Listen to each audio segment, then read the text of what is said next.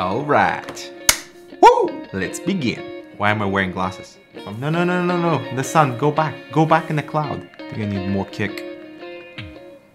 Wow, I had to redo my entire lighting. Stupid clouds. Alright, so what I was trying to say is that I feel like wireless gaming mice are becoming so good that they're almost like hitting their peak performance.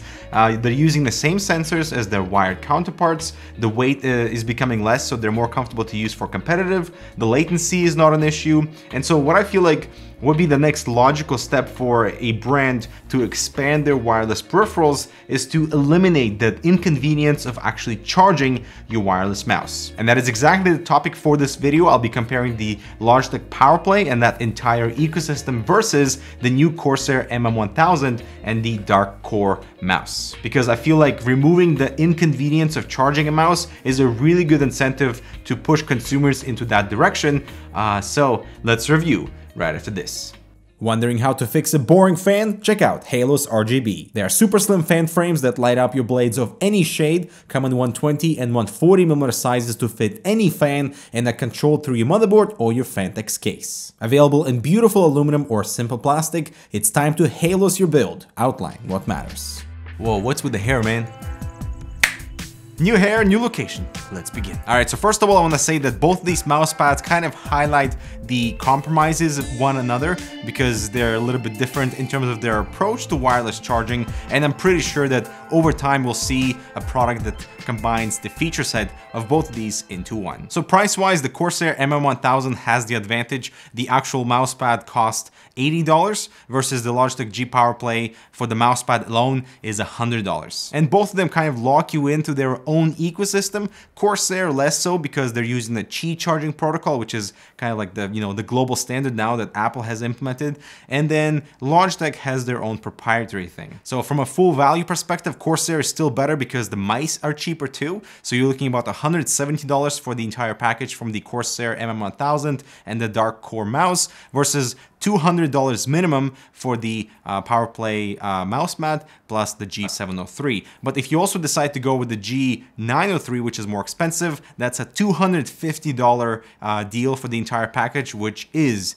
hella pricey. Now, size-wise, Logitech one is slightly bigger, but I wouldn't say that's an advantage because they both fall into the category of like, you know, medium mousepad in terms of area, so you don't gain that much extra movement real estate on the Logitech PowerPlay. But because there are differences in charging technology, each of them have this unique advantage over the other. So for example, with PowerPlay, because the actual circuitry that generates the electrical field and uh, the energy for your mouse is spanning the entire area of the mousepad, uh, it is more delicate, so you have to be more careful. But because of that, you can charge the mouse regardless of where the mouse is positioned on the mouse mat. Whereas with the MM1000, it's basically just a simple hard mouse mat with a small area where that Qi charger is built in. So your mouse can only charge when it's placed on top of that. And you have to align it. It's pretty easy, just aligning the bottom of the mouse where the curve happens with those circles. And they've also implemented a clever status LED on the hub. So if it's blinking once per second, means your Qi charging is going fine. All the contacts are aligned properly. But if you get two blinks per second, means you have to move the mouse a little bit more for those contacts to align properly. And so there's your weird compromise. The Dark Core mouse cannot be charged while it's in use and you have to place it onto that Qi area for it to receive power uh, while on the power play as long as the mouse is on top of the mouse mat you're constantly getting power. However the unfortunate circumstance of this being a proprietary circuit uh, Logitech PowerPlay is not approved in all countries so for example you cannot even buy it in Canada and so that makes your decision much easier. And so this is where the Qi charging technology makes total sense and it's a big advantage for Corsair because product approval globally will not be an issue. And functionally, I don't think there's any difference because the Dark Core can last up to 24 hours without any lighting, which I think is pretty reasonable. And as long as you don't forget to place it on top of the Qi charger while it's not in use, you'll never have any issues with the low battery indicator. However, there is actually no battery percentage indicator with the Dark uh, uh, Core mouse. You only have the bar from high, medium, and low in the software, and you really kind of have to dig into the settings in order to find it, which I find strange. I would definitely love just a simple percentage battery indicator somewhere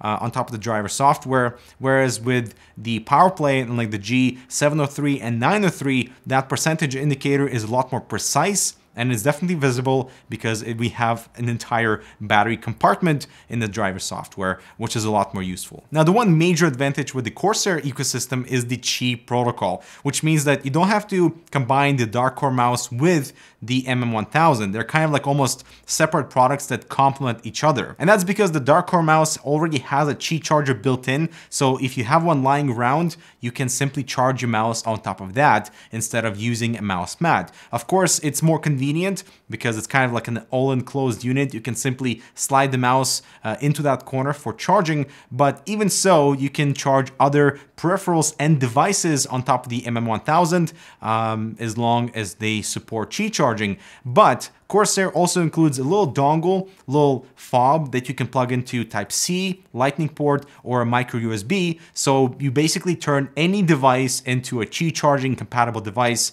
that will charge on top of your mouse mat. It's awesome, but you obviously have to keep in mind that the area of the mouse mat is not that large. So if you have your phone there, uh, your area of the actual operation where your mouse can move is smaller. I also like that we have an additional USB pass-through built into the hub on the MM1000, which means you can plug in the, your wireless receiver for the mouse to eliminate the distance and uh, you know eliminate any potential unwanted latency. Whereas with PowerPlay, because the proprietary wireless technology, you can only use the two mice, the G703 and the 903 with the PowerPlay mat, but I do like their implementation in terms of this uh, little puck at the bottom that you insert, which also gives the signal to the receiver on the actual mouse mat, so you don't have to plug in additional receivers for the mouse itself. And I think it goes without saying that both these mice can be used in wired mode with a micro USB cable, so they don't rely on the wireless charging mat. And the one major advantage of the PowerPlay ecosystem is the ability to swap out surfaces.